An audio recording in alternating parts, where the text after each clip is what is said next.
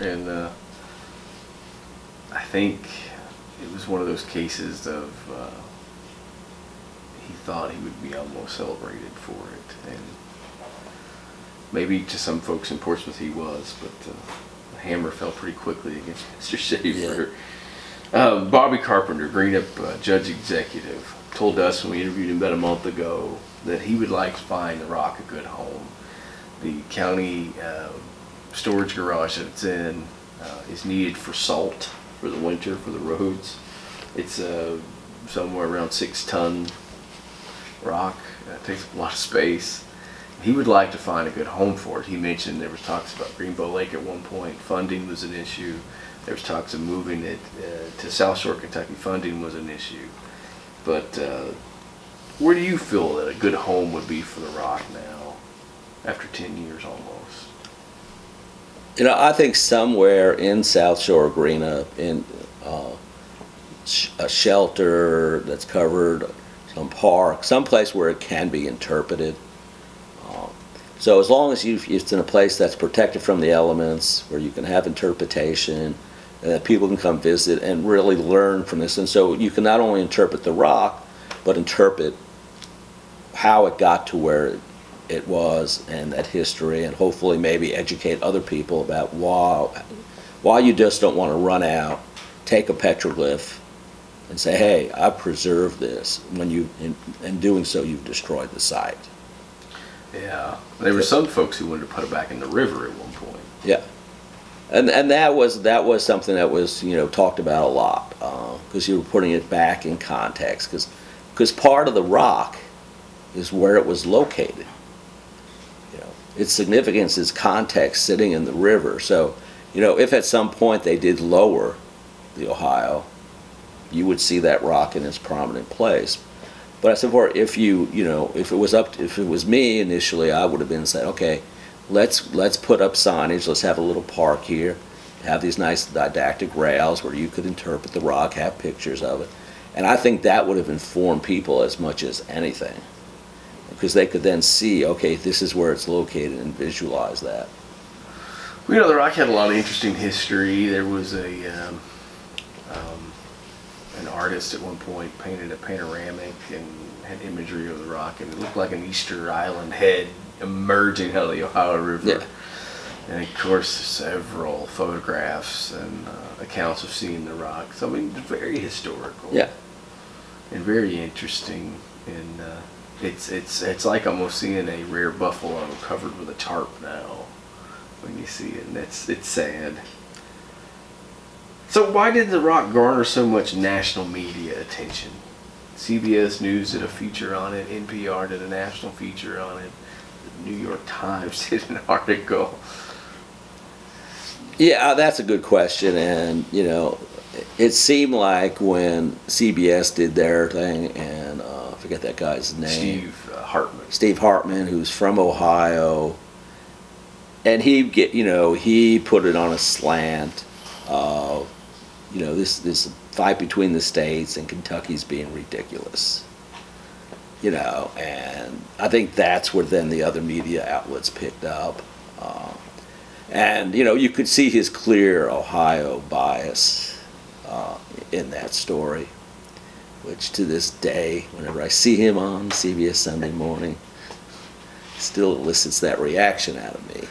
Because, you know, but that's what, you know, he, and he made fun of it. He made, you know, he made light of really what is a serious problem. And uh, so we actually sent letters and comments to CBS, and we actually sent things to the New York Times when they did the same. They followed up, and I think NPR. Nobody responded, but you know they were making light of really a ser- this the, the problem of looting of antiquities is a major problem in this country, and basically they were making light of that.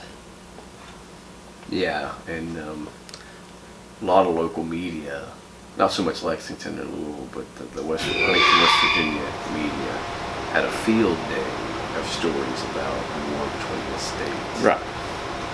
And some of the Ohio folks actually dressed up as Civil War Union soldiers and were going to protect the rock for a good television Right. picture. Yeah. And I, I also think it played into the East Coast bias, and, uh, preconceptions of the region. What's uh, any lasting comment you'd like to say about the rock or looting or how what this whole process has taught people or should have taught people?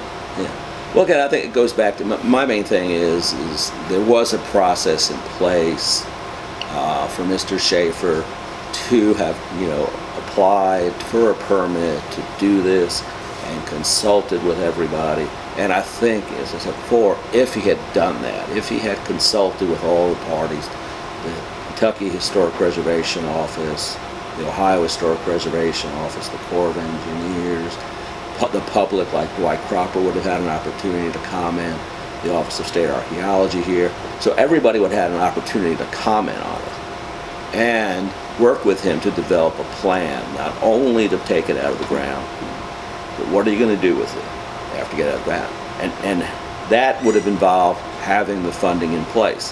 Having the city of Portsmouth say, okay, we're putting up fifty, sixty thousand dollars to interpret this. But one, to protect it in an environment that we know is going to protect it, and to interpret it. And I, if he had done that, it, that it would have been a different story because he would have done it in part under the National Historic Preservation Act. And Section 106 of that act requires that federal agencies that are giving our permits take into account their impacts on archaeological sites and other historic resources. But it's not like an act that says, no, you can't do things. The whole thing about the Section 106 Act is consultation, meeting, discussing, talking, coming to basically oftentimes a compromise on what's best for, but compromise that's what's best for the resource. Yeah. Um, it, it's interesting looking back on it all now. And, um, it, it, it, it's sad seeing it in that garage. I wish people could actually look at it and see enjoyment of it. Yeah, well, that's the thing. See, the thing is, is you know, what's the end result has been? The rock is removed from its context. The site, so you one, you've destroyed the site. You removed the rock from its context, and it's just as hidden today as it was if it was in the river. So it would have been, in a lot of ways, just better off left in the river. As I said before, put up didactic rails, just interpret it, have pictures, and you could have done a lot with it. And if what you're interested in tourism, that would have been as, as good for your tourism as putting it in a building. But it is, it's, you know, and, and we see this a lot. In, uh, you know, again, a lot of rock art is taken from its proper context. And once, you, once you've removed it from that, it, it loses a lot of its significance. All right. We good? Yeah. Well, I'll tell you some stories.